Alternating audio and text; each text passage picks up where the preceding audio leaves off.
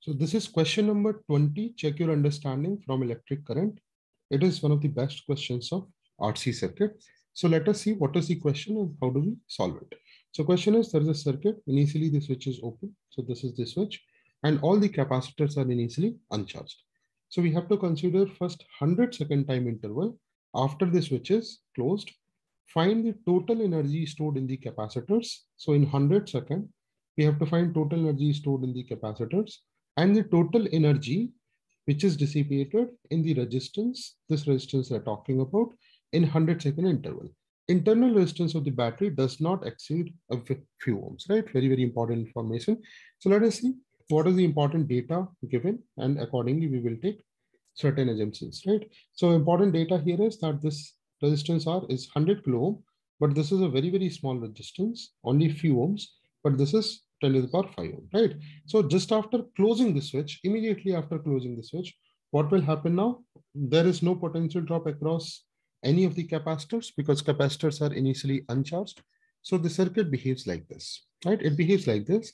There are still capacitors connected here, but since there is no drop, I have replaced these four capacitors as plain wire.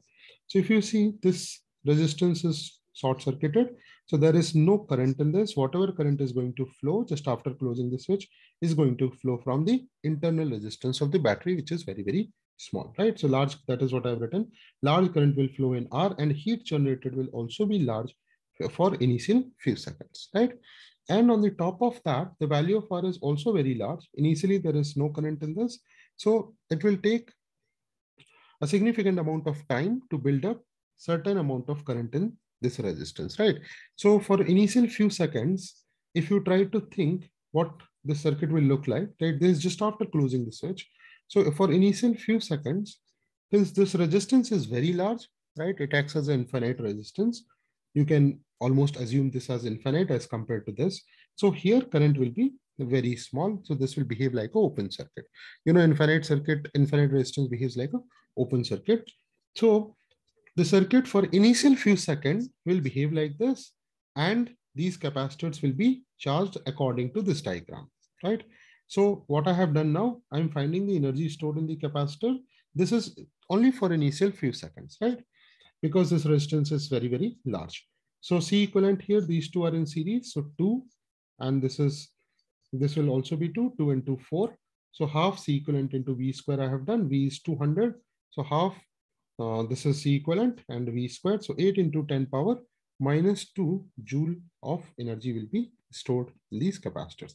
Now you know, which I've drawn this circuit. This is if you uh, take all of this as C equivalent and place one capacitor here, and this is the resistance, then you know this from your previous knowledge that when battery is doing work or capacitor is getting charged in RC circuit, then the amount of energy stored in the capacitor is equal to amount of amount of heat generated in the uh, resistance, right? So that is what, based on that, if you don't remember that, just go through your capacitor notes, um, or you can just do the very small calculation in this circuit, and you can uh, find out this result which I'm talking about right now.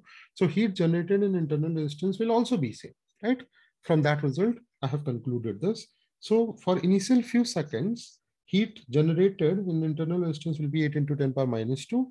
Heat generated in this will be very, very small because this will, since resistance is very large, this behaves as infinite resistance. There will be very small current or almost negligible current will flow through this, right? Okay, fine.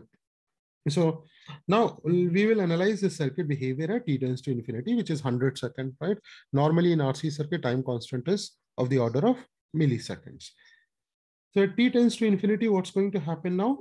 T tends to infinity, there will not be any current, right, anywhere because at t tends to infinity, capacitor behaves as open circuit. So there is no current which can flow from here, no current which can flow from here. Likewise, from these two branches. So there is no current here, no current here. And if there is no current, then V equal to IR, there will be no drop across the resistor. If there is no drop, so I have then uh, replaced the resistor by a plain wire because there is no drop, potential of these two points will be equal, right? And here also the internal resistance I have uh, replaced like a plain wire because in that also same logic will work. Fine. So here now I'm again going to store, uh, find the energy stored in the capacitor.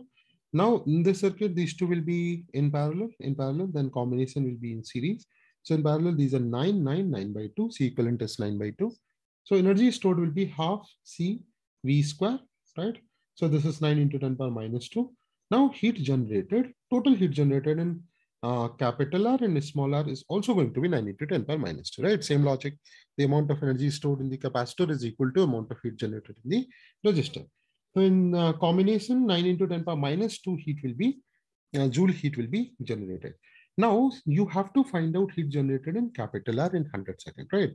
And we have found that in initial few seconds, the heat generated in small r will be 8 into 10 to the power minus 2, right?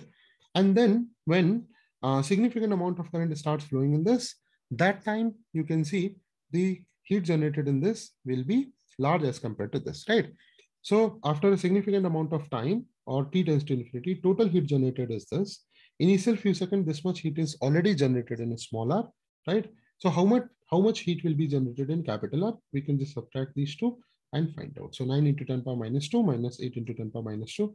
That will give you 1 into 10 power minus 2 joule, right? So that's it. That was my analysis. I think this is one of the best questions of RC circuit. Based on the data and all, you have to take certain decisions and assumptions. Right? This is very, very important questions, question for Olympiad as well as JEE Advanced. So if you have uh, liked my analysis, please like this video and uh, please subscribe to this channel also. That will be a great motivation for me to continue. So that's it. Thank you. All the best.